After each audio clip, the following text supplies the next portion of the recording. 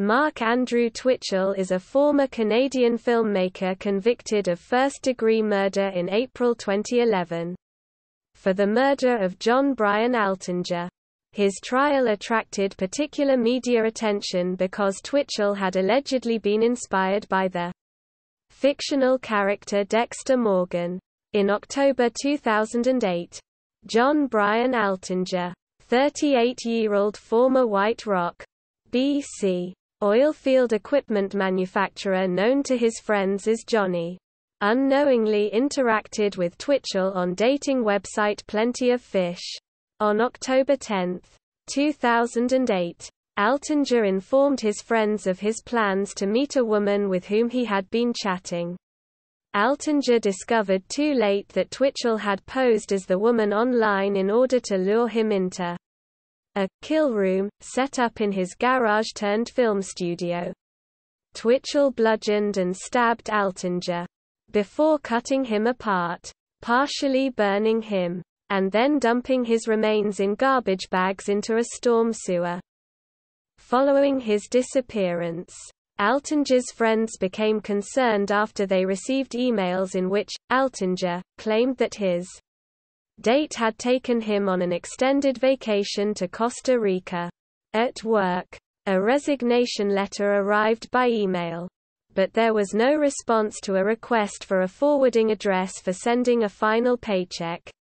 Altinger's friends broke into his condominium where they found his passport, dirty dishes, and no indication of his having packed for a trip. A homicide investigation was soon launched by the Edmonton Police Service.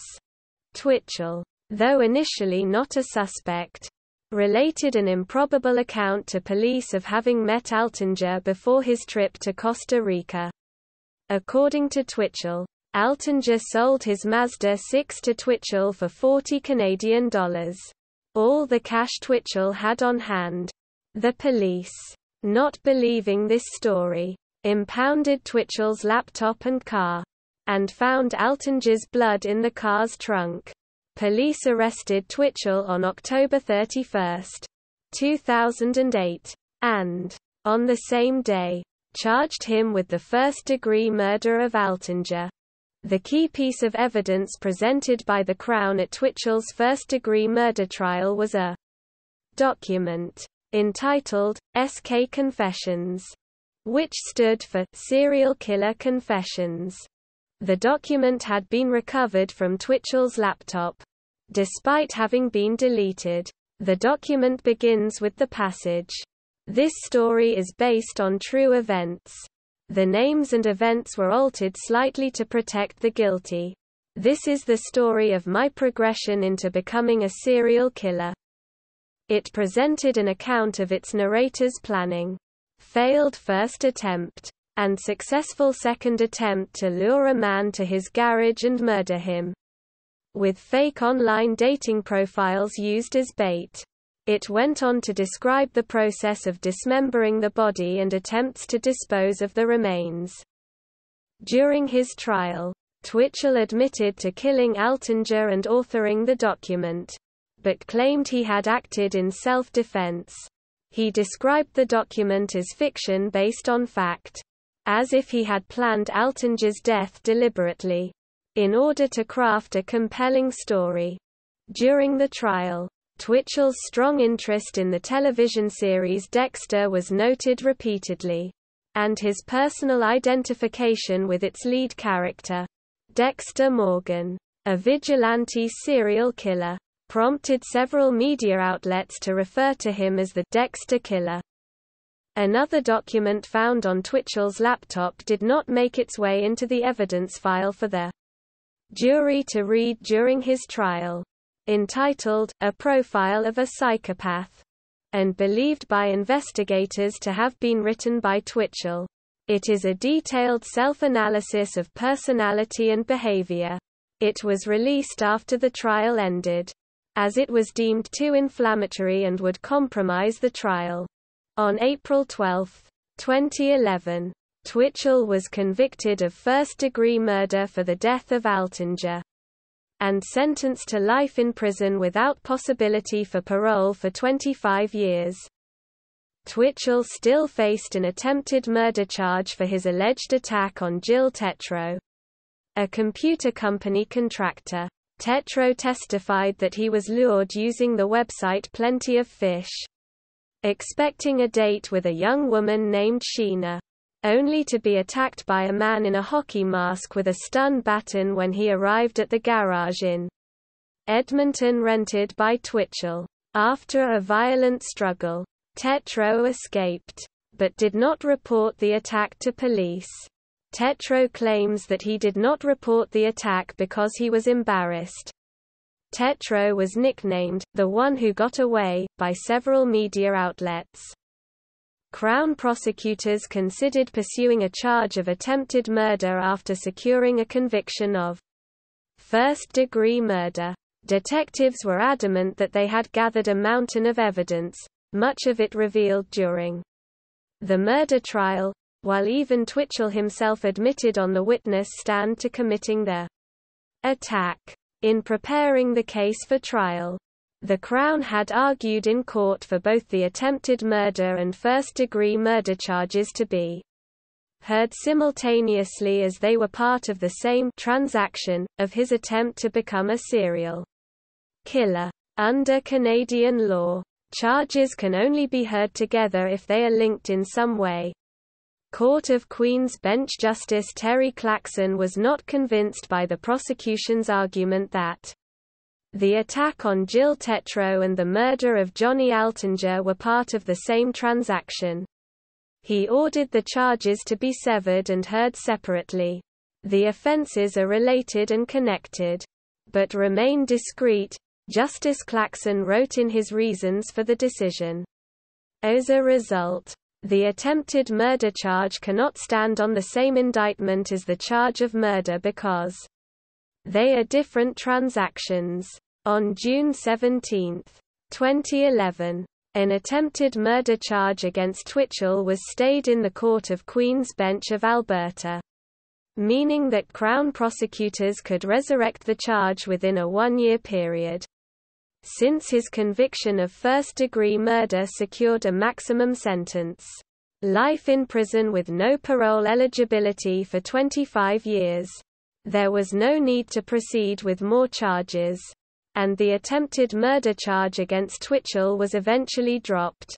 Extensive media coverage of the case created debate both inside and outside of the courtroom. Observers argued for and against the media's reporting on the more sensational details of the crime. Prior to the criminal trial, Crown prosecutors and the defense sought vast publication bans and sealing orders over the police evidence, preventing the media from reporting on the details of the case until the jury would hear it during the future trial. The media fought the application but the judge agreed to both a sealing order and publication ban. Stating in his ruling that, there is a real risk that pre-trial publicity will undermine the accused's constitutionally protected right to a fair trial. The jury pool was then polled through a challenge for cause procedure to determine if a potential juror had been influenced by the media coverage prior to the publication bans taking effect. When the bans were lifted, a large media presence attended and reported on the trial, including American television programs Dateline NBC and 48 Hours.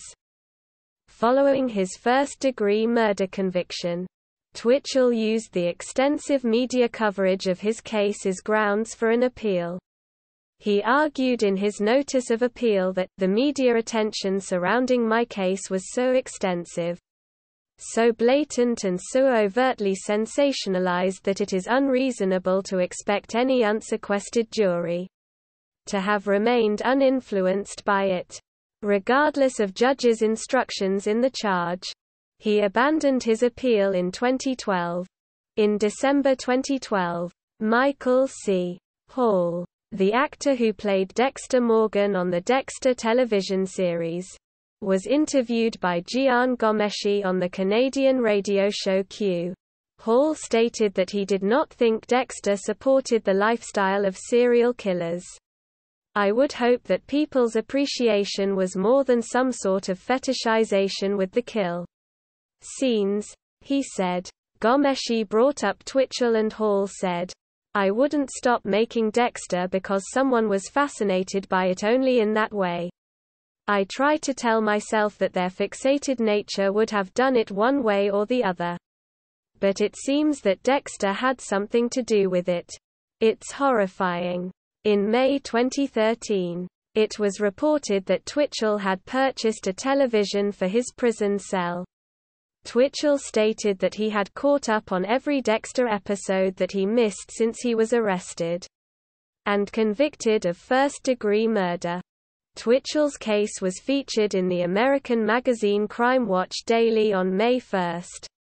2017. Much of that day's program focused on Twitchell's methods and featured interviews with Gilles Tetreault, his first intended victim, and Steve Lillebuen, author of the book The Devil's Cinema, which focused on the case. Part of the report included a return trip by Tetreault to the garage in which the incident had taken place. Tetreault made several media appearances related to his experience, including Deadly House of Cards on Dateline NBC, Screenplay for Murder on CBS 48 Hours Mystery, Murder. He wrote on CBC's The Fifth Estate, I Survived, on Biography Channel, Web of Seduction in Dates from Hell on Investigations Discovery and script for murder in the security brief on REELZ.